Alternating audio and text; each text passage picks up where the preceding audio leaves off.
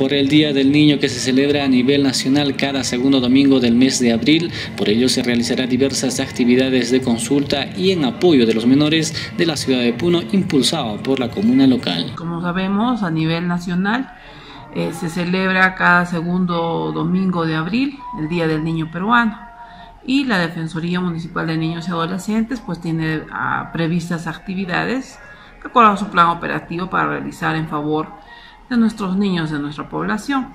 Es por eso que se ha previsto realizar una actividad en el Parque Pino, una denominada la Feria de Servicios. En dicha actividad se dará una atención directa respecto a la problemática que pueda quejar a los niños de la ciudad de Puno, como la anemia y la desnutrición. Que va a permitir una atención directa a nuestros niños respecto a una problemática que aqueja a ellos, que es el tema de la anemia y la desnutrición.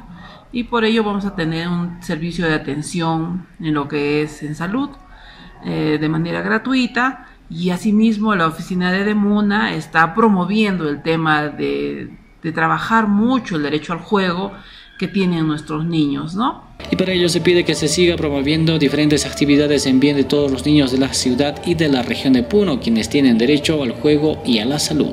Sigamos promoviendo el tema de prevención y asimismo el tema de atención para los casos que ya existen de, estos datos estadísticos de anemia y desnutrición. En el Perú, pues Puno ocupa lamentablemente uno de los primeros lugares y esto es una problemática que no solamente aqueja al área social, sino en general creo que aqueja a todo el ámbito, ¿no? Ámbito político, ámbito social, ámbito cultural, el tema de enseñar a preparar los alimentos y alejar desde a nuestros niños de esta problemática.